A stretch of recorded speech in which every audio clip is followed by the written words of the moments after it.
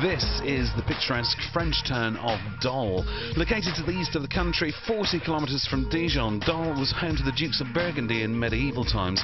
It was also the birthplace of Louis Pasteur, the chemist whose work went on to save countless lives after he proved the germ theory of disease. As dawn breaks, there's an invasion of a different kind. The local airport welcomes a fleet of international pilots and their crews for the start of a four-day competition. They're here to win a world championship in what can only be described as a highly specialised form of air sports. This is the World Hot Air Airship Championship.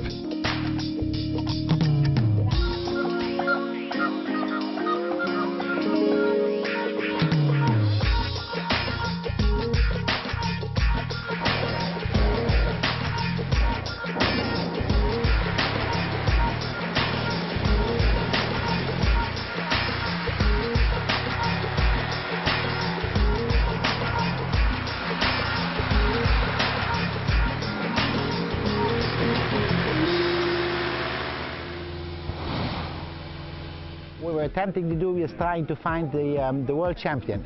We don't find the best machine. Okay, they have different types of machines, different performances, and uh, we are looking for two things. In fact, uh, precision flying, which means pure piloting skill, and we have some uh, speed events combined. Speed events, uh, on the other hand, are not just straight line races; they are complicated courses like slaloms. Uh, so that the precision and the uh, domination of the machine by the pilot um, is of prime importance.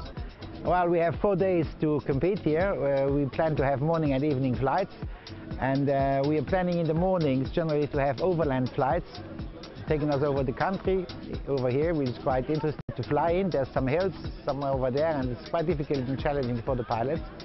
In the afternoons, we are flying here locally at the airport for shorter terms, but uh, more uh, geared towards specific targets and precision flying. Championship co-organiser is Olivier Cuno. A key point of contact for the pilots, he's in a good position to assess the way in which the sport is developing. Uh, every two years there is a, the World Championship, but uh, every two years the, the level goes up uh, every every time. Uh, airship, um, the technology uh, is uh, better and better, and pilots um, train a lot, and there is a, very good level and good competition. And uh, for you, it's hard work because you have to get up very early. You're working all day.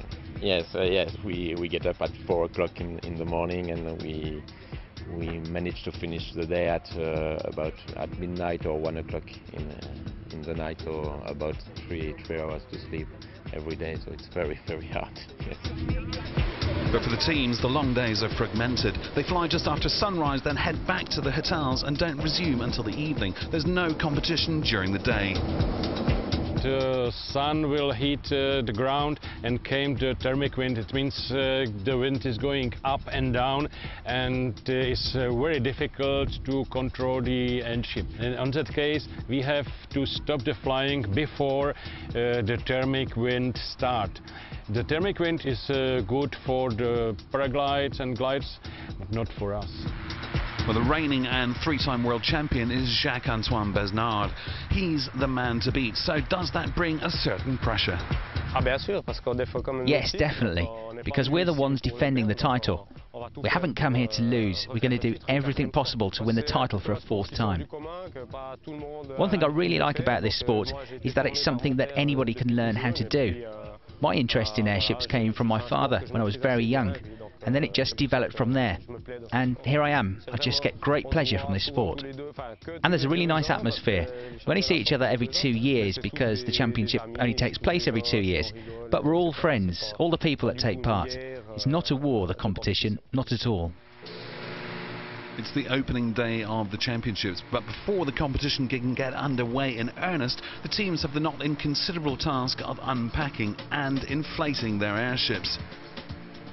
It's a job that requires attention to detail, but there's a time limit. Just 45 minutes to get to the start gate, which increases the stress levels.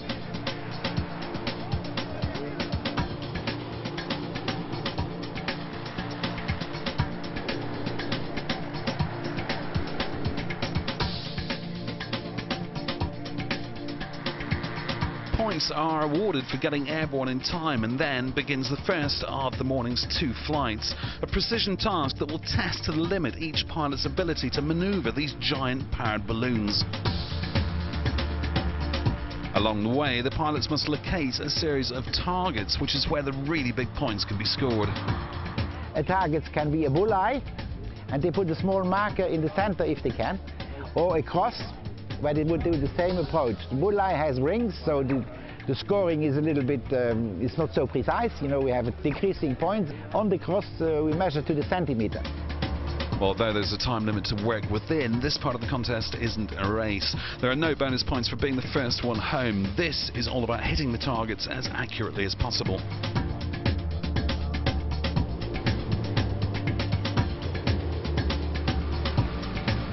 The development of airships dates back to 19th century France. Filled with either helium or hydrogen, these are aerostats, a term given to aircraft which are lighter than air. And so, steered using fins and a rudder, they command a very specific piloting technique.